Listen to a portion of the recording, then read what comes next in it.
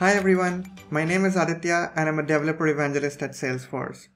In this quick tip, I'm going to show you how you can deploy a Lightning Web Components open source app that uses an Express API server to Heroku. Before watching this video, I strongly encourage you to go and check out my other quick take in which I deploy LWC OSS app without Express API server to Heroku. The link is in the description below.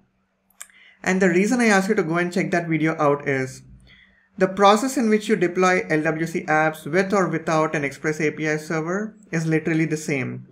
You're going to be using the same commands, the same deployment options are available to you, and I've gone over all of them in pretty much a lot of detail in the previous quick take. And there is a small change that you'll have to make in a piece of code to make sure the deployment with the API server goes successfully, which is what I'm going to cover in this quick take today. So let's dive in. What you're seeing here is an LWC OSS app that uses an Express API server. The SRC folder has two subfolders, one for the client and one for the server. And to deploy this to Heroku, as usual, you'll be creating a Procfile and you'll have the contents web colon npm run serve. Now let's look at the serve script in package.json. So here you'll see the serve command is now a little bit different from what you have seen in the previous quick take. It now has two sub commands. One is serve client and the other is serve API. And if you look at both of those scripts, each of those scripts are running different files. So the serve client is running script slash server.js and the serve API is running src slash server slash api.js. Let's open both of those files. So I'm opening the api.js file and then script slash server.js.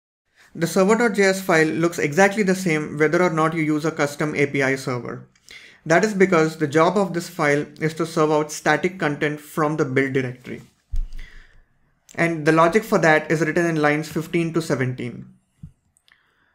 What you'll also notice here is that it is listening onto the port, which can either be passed as an environment variable or it's hard-coded to 3001. Heroku randomly assigns a port number to run your app, and this port number is passed to the port environment variable. Now let's look at api.js.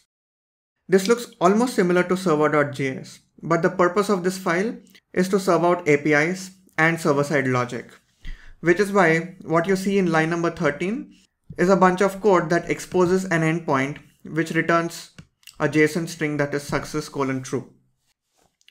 You'll also notice here that there is a different port on which this file runs. And that is either 3002 or you can send a value to the API underscore port environment variable. So whenever you run the serve command, it executes both of these files, which means there are two different Express servers that are running, one of which is serving out your static content and the other one is serving out your APIs. But what you'll notice in this file is the name of the environment variable, which is API underscore port. As you know, Heroku dynamically assigns port numbers and there is no way for you to know which port number is free. And the port number which is dynamically assigned is sent to the port environment variable and not the API port. So which is why when you deploy this file as is to Heroku, this file fails to run because you can't supply a hard-coded port because you never know if it is available or not. And same is the case with 3002. Now, the only way in which you can get this file to run is by replacing API port with just port. But there is one problem that occurs when you do this. Both api.js and server.js try to run on the same port. And you can't have two Express servers running on one port, which is why one of them is going to fail. So one of the option we have here is to combine the code from both server.js and api.js into one file so that there is only one Express server that is created that serves out both the static content and the APIs. So I have chosen to merge the code from server.js into api.js. And here is how the resulting code will look like. So what you can see here is that in api.js, I'm using both the standard host and port environment variables. And if you remember, these two were the lines of code required to serve out static content from server.js. I've pasted both of them here. And of course, I already have my logic that creates APIs present underneath them. However, there is one small change that I've made here. So in server.js, if you go and see, here it says app.use star, but here I've replaced it with a regular expression. So that is because when you say app.use star, that means any HTTP request that comes to this server is going to send out static files. But since this file is also serving out API endpoints, and whenever a user tries to hit this API endpoint, instead of sending static content, I need to send this JSON response.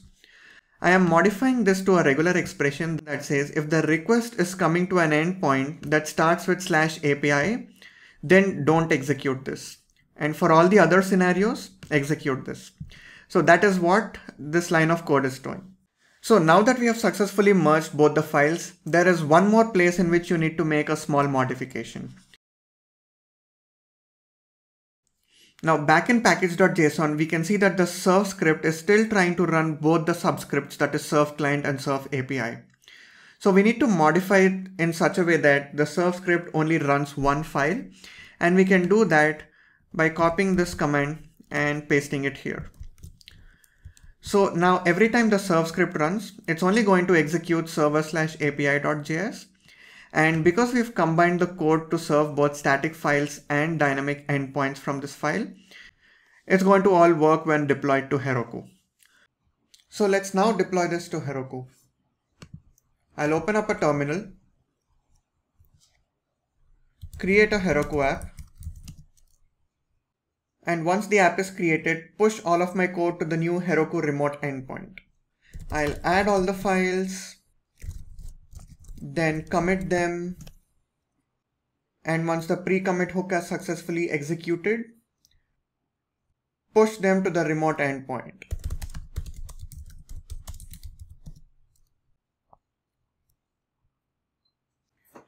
It's going to automatically run the build script and then based on the information we've given in the Procfile, it's going to run the serve command. Now that the app has been deployed, let's launch it. And here you can see the app in action. The static content is being served well. Let's also look at the API endpoint.